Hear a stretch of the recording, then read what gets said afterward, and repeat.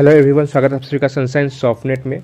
तो देखिए, बिहार सरकार की तरफ़ से जो है, दो तारीख को, दो जनवरी 2024 को जो है, एक पत्र को निकाला गया है। ये जो पत्र है, वो P M M V Y यानी कि प्रधानमंत्री मातृ वंदना योजना के रिगार्डिंग है, संदर्भ में है। इस पत्र के जो प्रेषक है, वो है नोडल पदाधिकारी P M M V Y I C D S निदेशालय, बिहार, पटना। और ये जो पत्र है, वो सभी जिला प्रोग्राम पदाधिकारी, यानी कि सभी डीपीओ को, इस पत्र को भेजा गया है। कि आप अपने क्षेत्र में जो है, अपने ज़िला में उन सभी आंगनबाड़ी को चिन्हित करें, जिनका खास तौर पे जो जीरी, ज़ीरो इंट्री है मतलब कि उन्होंने एक भी फॉर्म नहीं भरा है पी का, उनको चिन्हित करके जो है, खास तौर पे एक कैंप लगा के, चौदह दिनों का कैंप लगा के उन सभी का जो है फॉर्म को भरवाए।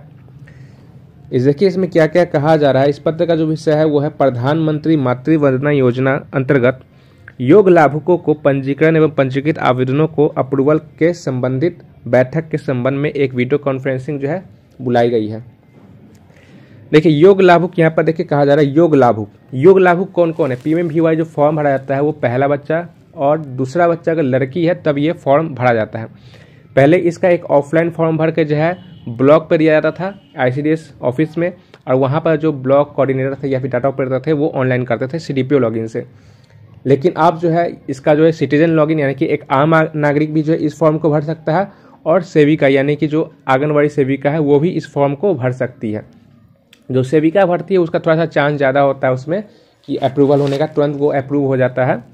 और जो एक आम नागरिक भर, भरता है तो वो भी जो है सेविका से अप्रूव करवा कर कि ये उसके क्षेत्र के है, और फिर उसके बाद जो है, ब्लॉक में अप्रूव करवा कर उसको, उसमें भी पेमेंट जनरेट हो जाता है। उसमें भी कोई दिक्कत नहीं है, क्योंकि वो सरकार जो है, एक आम सुविधा के लिए जो है, उसको लॉगिन पे डाली गई है।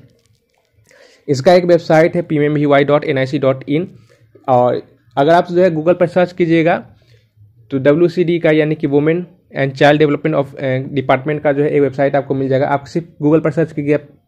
आप जो है सिर्फ़ जो है गूगल पर सर्च कीजिएगा पी एम वी वाई तो आपको वेबसाइट मिल जाएगा ऑनलाइन करने का। अब इसमें जो है ऑफलाइन फॉर्म भरने का ज़रूरत नहीं है, आप ऑनलाइन कर दीजिए। बसरते आपका जो आधार है, वो अपने बैंक अकाउंट से आपको लिंक किया हुआ ना, यानी कि सीड किया होगा लिंक नहीं। लिंक तो रहता ही है सबका, लेकिन सीड किया हुआ होना चाहिए। अब देखिए, दोनों में अंतर क्या है?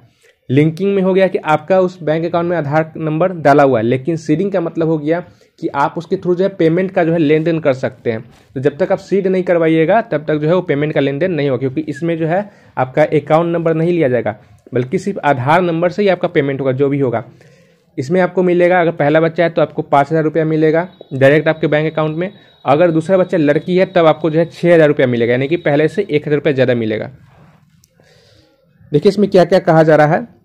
महाशय, उपयुक्त विषयक प्रासंगिक पत्र के संबंध में कहना है कि प्रधानमंत्री मातृ वंदना योजना अंतर्गत दिनांक 2 जनवरी 2024 से दिनांक 16 जनवरी 2024 तक योग लाभुकों के पंजीकरण एवं भुगतान हेतु विशेष कैंप का आयोजन किया जाना है। यानी कि कुल चौदह दिनों का, दो तारीख से है, सोलह तारीख तक तो चौदह दिनों का ये कैंप है। इसमें जो भी योग लाभुक है, उनका यहाँ पर पंजीकरण करना है। निर्देशानुसार दिनांक तीन से नौ जनवरी 2024 तक, समय साढ़े ग्यारह से एक बजे, जिलावार वीडियो कॉन्फ्रेंसिंग के माध्यम से समीक्षा सह प्रशिक्षण भारत सरकार के प्रतिनिधि द्वारा किया जाएगा। यानी कि इसका समीक्षा भी होगा, अगर कुछ ट्रेनिंग की ज़रूरत होगी तो ट्रेनिंग भी दी जाएगी। बैठक में संबंधित जिला के प्रतिनिधि एवं बाल विकास, सभी बाल विकास परियोजना पदाधिकारी आवश्यक रूप से भाग लेंगे। बैठक का जो एजेंडा है वो कुछ इस प्रकार का निम्न है। पहला है कि योग लाभुकों का योजना अंतर्गत पंजीकरण यानी कि उनका रजिस्ट्रेशन करना। शून्य आवेदन प्रविष्टि वाले आंगनबाड़ी केंद्र को चिन्हित कर आवेदन की प्रविष्टि करवाना। लाभुकों का आधार बैंक या फिर पोस्ट ऑफ़िस के खाता के साथ सीडिंग की प्रक्रिया। देखिए, यहाँ पर खास तौर पर यह कहा जा रहा है सीडिंग। ठीक है लिंक नहीं कहा जा रहा है सीडिंग कहा जा रहा है, इसको ध्यान दीजिएगा। सीडिंग के ही थ्रू जो है, अगर आपका सीडिंग हो जाता है मतलब कि बैंक से आधार सीड हो जाता है तो उससे आप जो है, आधार से ही पेमेंट जो है, निकासी कर सकते हैं या फिर जो है, उसमें पेमेंट जा सकता है। तो ये सीड करवाना ज़रूरी है। कुछ लोगों का जो है सीडिंग नहीं होता है। मतलब अधिकतर लोगों का सीड हो जाता है, लेकिन कुछ लोगों का जो नया अकाउंट खुलवाते हैं, उनका सीडिंग नहीं हुआ हो रहता है। तो आपको बैंक में जाकर जो भी लाभुक है उनको सीड क्लिक करना होगा, एक आवेदन देना कि मेरा जो है आधार को जो है अपने बैंक अकाउंट से सीड कर दीजिए। ज़्यादा देर का नहीं है, कुछ ही सेकंडों का प्रक्रिया होता है। आवेदनों का अप्रूवल एवं पेमेंट जनरेशन की प्रक्रिया को भी जो है यहाँ पर कर देना मतलब कि आगे भेज देना है अप्रूव करके ब्लॉक से जो है सुपरवाइजर और सीडीपीओ द्वारा अप्रूव करके जो उसे जिला में भेज दिया जाता है पेमेंट जनरेट के लिए। वीसी का लिंक बैठक के दिन सुबह साढ़े नौ बजे तक उपलब्ध करा दी जाएगी। इस फॉर्म को किस तरह से भरना है, ये भी हम आपको बताएँगे। देखिए, सबसे पहले यहाँ पर कहा जा रहा है कि तीन तारीख को किस किस डेट में जो है कौन कौन से जिला में जो है, ये बैठक की जाने वाली है, इसकी समीक्षा या फिर ट्रेनिंग इसकी दी जानी है। तो तीन तारीख को जो है, अररिया, अरवल, औरंगाबाद, बांका, बेगूसराय, भागलपुर, भोजपुर, बक्सर में इसका ट्रेनिंग होगा। चार तारीख को दरभंगा, गया, गोपालगंज, जमुई, जहानाबाद, कैमूर में इसका ट्रेनिंग होगा। पाँच तारीख को कटिहार, खगड़िया, किशनगंज, लखीसराय, मधेपुरा, मधुबनी, मुंगेर, मुजफ्फरपुर में इसका ट्रेनिंग होगा। आठ तारीख को जो है नालंदा, नवादा, पश्चिम चंपारण, पटना, पूर्वी चंपारण, पूर्णिया, रोहतास, सहरसा में इसका ट्रेनिंग होगा। समीक्षा की जाएगी। और नौ तारीख को जो है समस्तीपुर, सारण, शेखपुरा सेवहर सीतामढ़ी, सिवान, सुपौल, वैशाली या फिर अन्य कोई डिस्ट्रिक्ट में इसका ट्रेनिंग या फिर समीक्षा होगा। अतः अनुरोध है कि उपरोक्त तिथि अनुसार अपने जिला अंतर्गत प्रतिभागियों की समीक्षा सह प्रशिक्षण में भाग लेना हेतु निर्देशित करेंगे। यहाँ पर नोडल पदाधिकारी का यहाँ पर सिग्नेचर है इस लेटर को निकालने का जो तिथि है वो है, दो जनवरी दो हज़ार चौबीस। अब चलिए हम आपको जो है दिखाते हैं कि किस तरह से इस फॉर्म को भरा जाता है। हम एक छोटा सा आपको हिंट दे देते हैं मतलब समरी बता देंगे। बाकी इसका डिटेल वीडियो आपको जो है इस चैनल पर ज़रूर मिल जाएगा बाद में। अब देखिए इस फॉर्म को भरने के लिए आपको गूगल पर सर्च करना होगा P M M V Y ठीक है? P M V Y search कीजिएगा। ये देखिए, पहला जो वेबसाइट आ रहा है P M V Y dot W C D dot G O V dot in इस पर आपको क्लिक करना है। इस पर क्लिक कीजिएगा तो यहाँ पर देखिए, दो लॉगिन है। एक यहाँ पर सिटीजन लॉगिन एक है जो आंगनबाड़ी सेविका है, उसके लिए। ऊपर ऊपर में है आंगनबाड़ी सेविका को लॉगिन करने के लिए, और नीचे में जो है सिटीजन यानी कि एक आम नागरिक को लॉगिन करने के लिए। एक आम नागरिक भी जो है इस फॉर्म को भर सकता है ऑनलाइन तो अभी हम आपको बता देते हैं कि इसमें क्या क्या है। लॉगिन पर क्लिक करना है। हम अभी यहाँ पर सेविका लॉगिन पर क्लिक करते हैं, आंगनबाड़ी लॉगिन पर यूज़र आईडी डाल देना है। कैप्चर जो है कैपिटल में सारा है तो आपको कैपिटल में डालना है।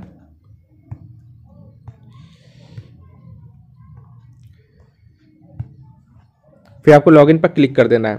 तो ये आप जो है लॉगिन हो जाएगा। ऊपर में देखिए, आंगनबाड़ी सेविका का नाम आ रहा है। यहाँ पर ऊपर में जो है, जो हैमबर्गर आइकन है, उस पर आपको क्लिक करना है। ये मेनू का आइकन होता है। डाटा एंट्री पर आपको क्लिक करना है। फिर उसके बाद बेनिफिशियरी रजिस्ट्रेशन पर आपको क्लिक करना है। फिर यहाँ पर देखिए, पूछा जा रहा है is beneficiary is an employ of central government state government या फिर पीएसयू मतलब कोई भी जो है सरकारी कर्मी है या नहीं है तो जो सरकारी कर्मी नहीं है, उन्हीं का ये फॉर्म जो है भरा जाएगा। तो यहाँ पर आपको नो पर चेक करना है। दूसरा यहाँ पूछा था अप्लाइंग फॉर फ़र्स्ट चाइल्ड और सेकेंड चाइल्ड पहला चाइल्ड अगर लड़का हो या फिर लड़की हो, कोई दिक्कत नहीं है। लड़का भी है, फिर भी इस फॉर्म को भर सकते हैं। इसमें आपको पाँच हज़ार रुपये का मिलेगा। और अगर दूसरा चाइल्ड लड़की हो, तभी इस फॉर्म को भर सकते हैं। लड़का होगा तो नई फॉर्म भर सकते हैं। दूसरा चाइल्ड यानी कि दूसरा बच्चा अगर लड़की हो, तब आपको जो है छः हज़ार रुपये आपको बैंक अकाउंट में मिलेगा। इस तरह से है। फिर यहाँ पर देखिए, कहा जा रहा है please enter name as in Aadhaar card. Aadhaar card में जिस प्रकार का नेम है, जो भी स्पेलिंग है आपका, उस प्रकार जो है इसमें एंट्री करना है, आधार नंबर एंट्री करना है डेट ऑफ़ बर्थ बताना है, लाभुक का।